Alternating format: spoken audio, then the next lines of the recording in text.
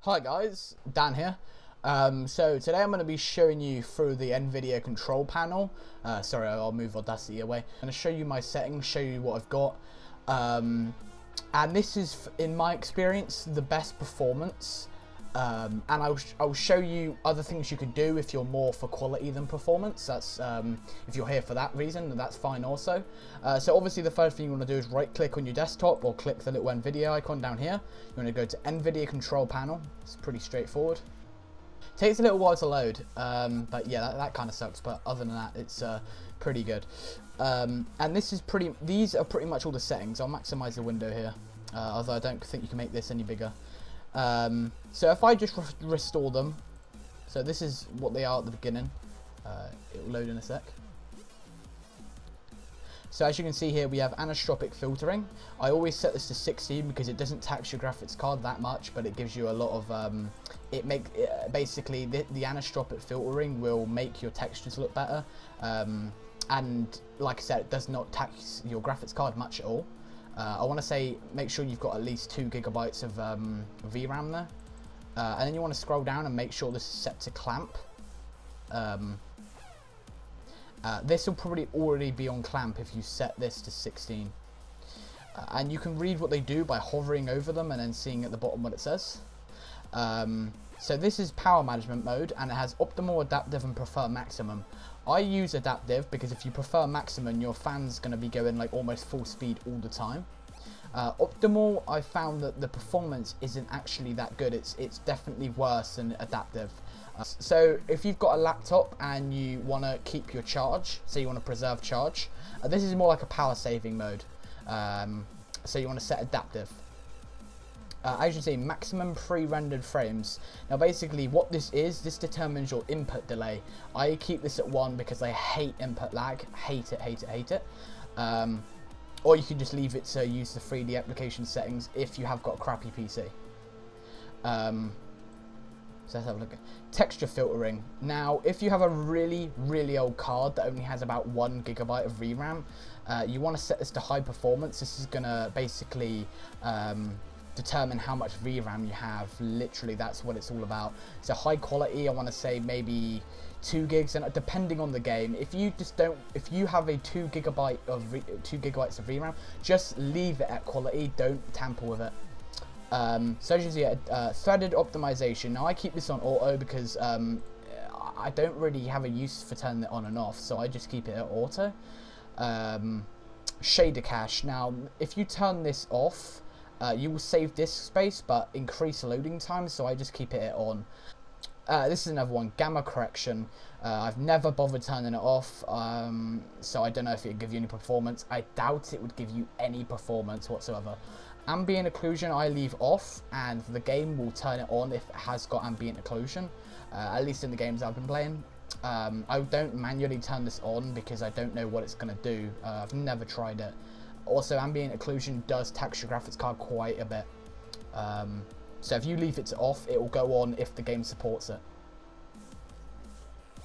Uh, so this is another one, multi-display mixed GPU acceleration. I keep this at multiple, obviously if you've got single you press single and uh, it says what it says, so it says compatibility mode uh, may eliminate the corruption in programs that span across multiple screens basically if you're using like Valley Benchmark uh, and you want to do the span feature that lets you span it across both screens, just put this to compatibility.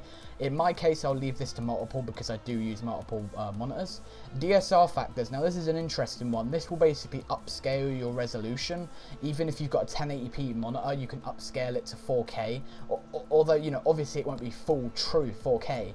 Uh, I've never used this. My graphics card isn't that good, so I don't want to tax it even more.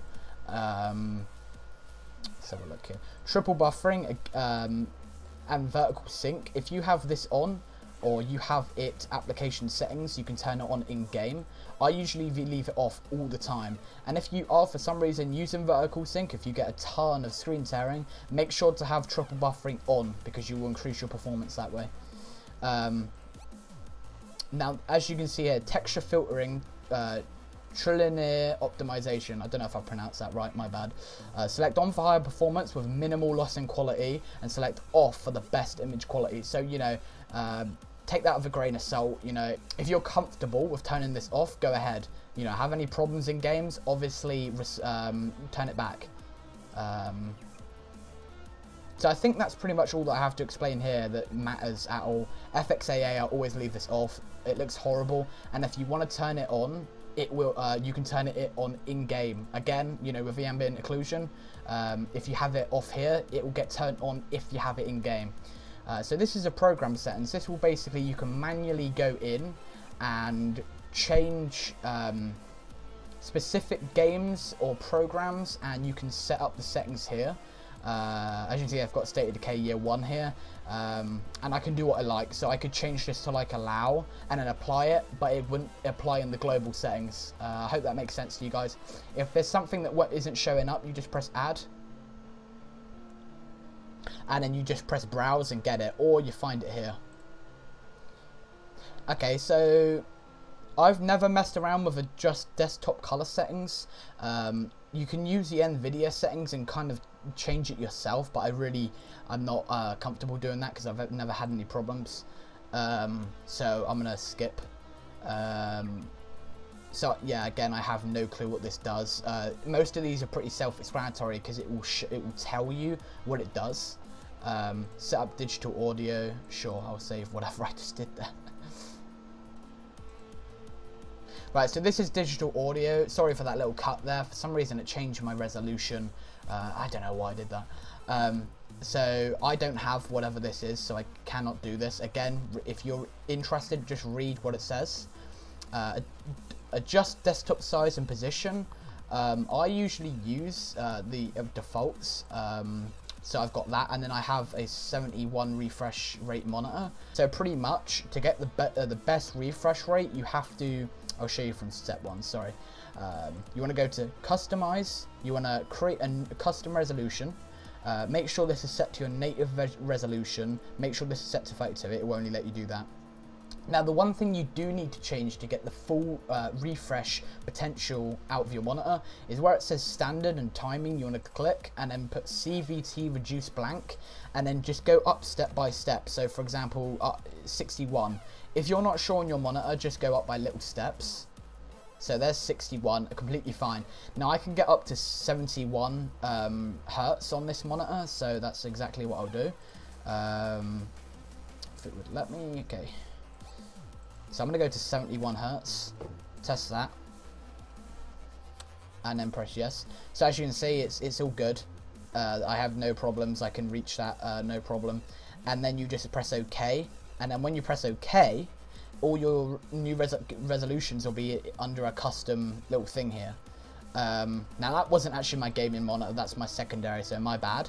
But um, yeah, same goes for all of them really. Just make sure to press apply after you're finished. Um, and then yeah. Uh, so let's wait for it to load. Very slow, I've always realised that. Uh, adjust video color. So again, I've never messed with this. So I don't recommend messing with it if you don't have any problems um, uh, at this moment of time. Adjust video image settings. Um, again, I've never messed with it, so I apologize. I don't know what to tell you. Um, and I'll say one last time that if you have any interest in any of these um, tabs or settings, you just read, just read what it's saying to you. It's pretty self-explanatory. Um, and I think that's just about it, guys. Uh, I hope you enjoyed this tutorial. I sure didn't enjoy helping you guys out if I did. Um, so yeah, everybody take it easy, and I'll catch you in the next video. Alright guys, peace.